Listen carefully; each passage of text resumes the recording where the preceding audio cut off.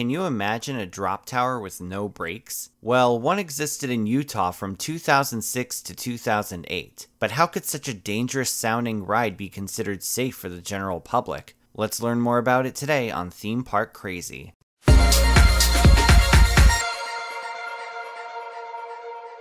To this day, the Drop Tower is considered perhaps the most thrilling flat ride on the market. Though not classified as roller coasters, these intimidating attractions provide a suspenseful and terrifying ride experience in a very small footprint. This concept dates all the way back to the early 1980s, when Swiss manufacturer Intamin marketed the revolutionary freefall attraction. First debuting in 1982 at Six Flags Magic Mountain in Six Flags Over Texas, the freefall was much more like a roller coaster than later drop tower variations. The premise was simple. Guests would be lifted 131 feet into the air on a cable lift through the main tower. Afterwards, they would be pushed forwards towards the drop section. After a few seconds of sitting in place, guests would plummet down the ramp going from a sit down position to a face up position. A final brake run would bring the train to a stop. This braking system would utilize standard friction brakes, much like the ones on a car or a bicycle. This ride was quite innovative for the time, allowing passengers to experience the thrill of a roller coaster at a fraction of the cost. But this would only be the first generation.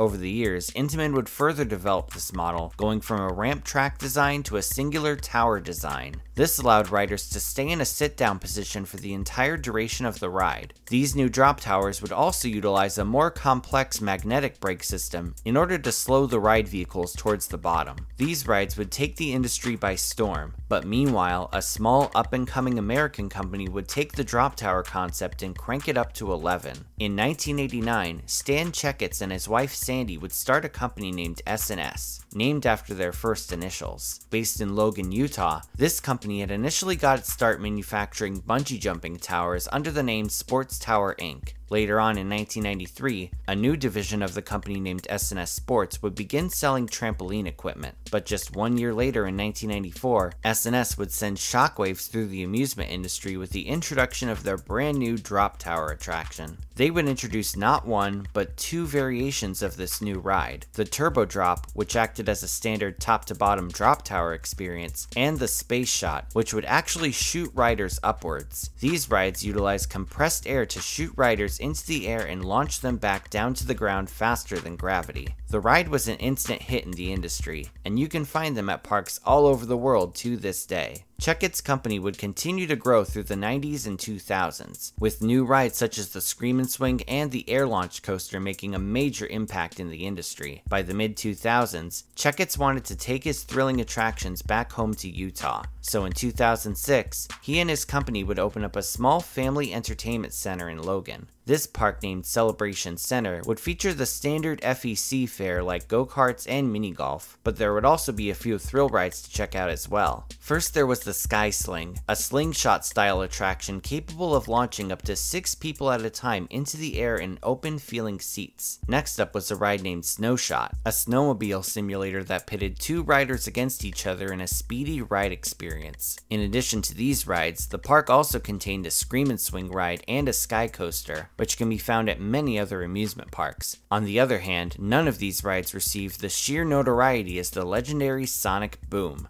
At 367 feet tall, it would also reach a top speed of 100 miles per hour on the descent. As if the stats weren't crazy enough, there were no brakes on it. You heard that right, no brakes. Now some of you may be questioning the sanity of S&S right now. How on earth can a sane company build a drop tower with no brakes and expect it to be safe? Believe it or not, the answer to this quandary is much simpler than it seems. Let's talk about the ride experience. Passengers would start by boarding a small metal capsule. Inside were two small blue seats with only a single seat belt to keep riders in place. And it wasn't one of those over the chest car seat belts either. It was literally a single seat belt that went across your lap. Riders would then be given protective earphones. These will come into play later on. The capsule would then be lifted upwards with a cable, passing through a rusty looking metal tube. Slowly but surely, passengers would be lifted upwards towards the top of the tower. Upon reaching the peak, riders were given two options. Either wait 10 seconds for the drop or push a big red button in the capsule to drop immediately. Both of these options would lead to a 100 mile per hour descent down the tower, shooting riders to the ground with no brakes in sight. Here's where things get interesting though. Upon re-entering the tube, the capsule seems to magically slow down on its own, albeit with an extremely loud noise.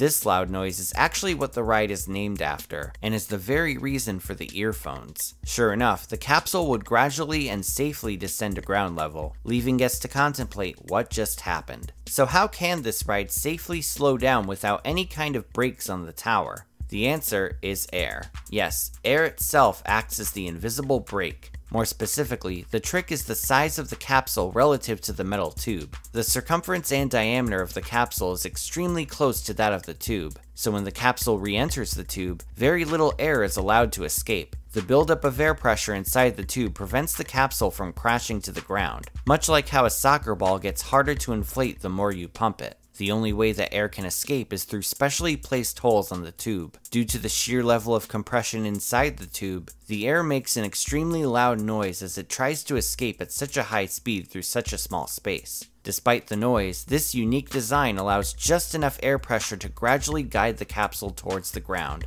being arguably as effective as a more expensive magnetic brake system. When you have enough engineering prowess, who needs brakes? This ride was widely acclaimed by parkgoers and would rank as the number one ride in the park by guests online. Unfortunately, this innovative creation would only last a mere two years. Not because it was unsafe though, far from it. The real reason this ride closed so soon is because Celebration Center just wasn't generating enough income to be worth operating. The park had been struggling financially ever since it opened, and it would cost S&S around 15,000 to $20,000 a month to keep operating. The park simply wasn't profitable, and Stan Checketts decided to focus the company's attention and resources away from it. Years after the park's closure, the property has since been sold to a new owner, and is now the site of Renegade Sports. This motorcycle and ATV shop retains Celebration Center's go-kart and mini golf courses, while also featuring a spiffy new motocross track. And for those of you auto fans out there, the showroom features models from all sorts of manufacturers. These include Polaris, Yamaha, Kawasaki, Can-Am, KTM, Ski-Doo, Suzuki, and Sea-Doo. If you want to learn more about this facility, I've put a link in the description. As for S&S, they have continued to thrive from their Logan headquarters despite the park's closure. They have since gone on to create some of the most innovative attractions in the amusement industry. Their Steel Curtain roller coaster at Pennsylvania's Kennywood recently won the Golden Ticket Award for Best New Coaster of 2019. They're also hard at work on their Axis coaster model, perhaps one of the most talked about roller coaster prototypes of the modern era. Though to this day, their Sonic Boom attraction is often overlooked due to the lack of information about it. With that being said though, there's no doubt it deserves a legacy of its own.